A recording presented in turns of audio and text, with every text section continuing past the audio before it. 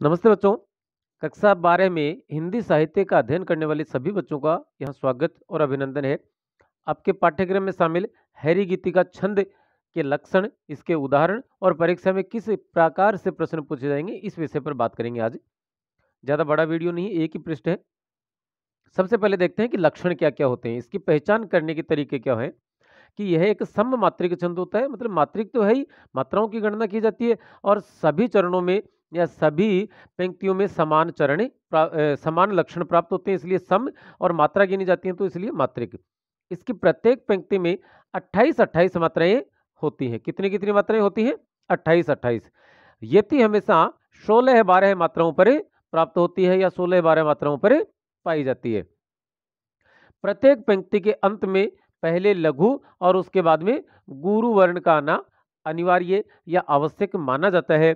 और तुक हमेशा प्रत्येक चरण के अंत में होती है। कहाँ होती है? अंत में हमें प्राप्त होती है कुल मिलाकर ये पाँच इसकी विशेषताएँ हैं, इनको याद रखिएगा। अब देखते हैं उदाहरण। पहला उदाहरण लिखा है आपके सामने। कहती हुई और उत्तरा के नेत्र जल से भर गए, हिम के कणों से मानो पूर्ण हो गए पंकज ने। तो यहाँ पर देखिएगा आपके सामने नज़र आ रहे हैं।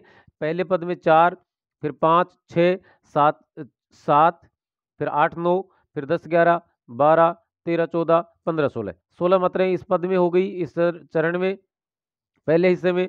उसके बाद में दो, तीन, चार, पाँच, छः, सात, आठ, नौ, दस, ग्यारह, बारह। यहाँ बारह हो गई। हमने बात की थी प्रत्येक पंक्ति में अट्ठाईस अट्ठाईस मात्राएँ होती हैं और सोलह बारह पर यति होती है तो ये सोलह बारह पर यति आपको यहाँ पर प्राप्त होती है। इसी प्रकार से यहाँ पर भी मात्राएँ स्थापित कर दी हैं हमने और यहाँ पर भी की हुई हैं। आप गणना करेंगे तो आपको सोलह बारह पर ही मिलेंगी। दूसरा है, श्री रामचंद्र कृपालु भजुमन हरण भव भय दारुणम, नव कंज लोचन कंज मुख कर कंज पद कंज अरुणम। तो यहाँ पर भी आप इनकी गणना करके देखेंगे, स्थापित पहले से है मात्राएँ तो सोलह बारह पर अर्थात प्रत्येक पंक्ति में अट्ठाईस अट्ठाईस मात्राएँ हैं और सोलह बारह पर यति प्राप्त होती है। अब बात करते हैं, बोर्ड परीक्षा में प्रश्न किस प्रकार से पूछा जाएँगे? तो बोर्ड परीक्षा में एक तो तरीका ये होता है, जैसे यहाँ दो उदाहरण दिए हैं। कोई भी उदाहरण ये भी हो सकते हैं, इस इनके अलावा भी हो सकते हैं।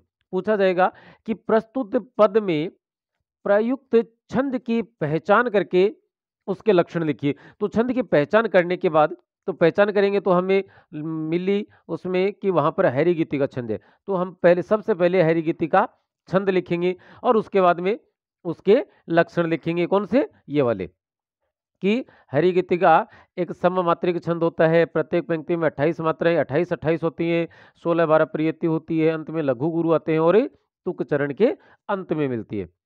दूसरा तरीका क्या होता है? यहाँ लिखा है ये कि हैरी गीति का छंद के लक्षण या विशेषताएँ या पहचान और उदाहरण लिखिए। तो पहले हमें ये वाले इसकी पहचान के जो लक्षण है, वो लिखने और उसके पश्चात नीचे जो उदाहरण दे रखे वो लिखने। उनमें से कोई एक उदाहरण वहाँ लिखना होता है। तो दोनों प्रकार के से आप तैयार रखें अपने आप को और बोर्ड परीक्षा के लिए आप सभी को शुभकामनाएँ। नमस्ते, धन्यवाद, जय हिंद।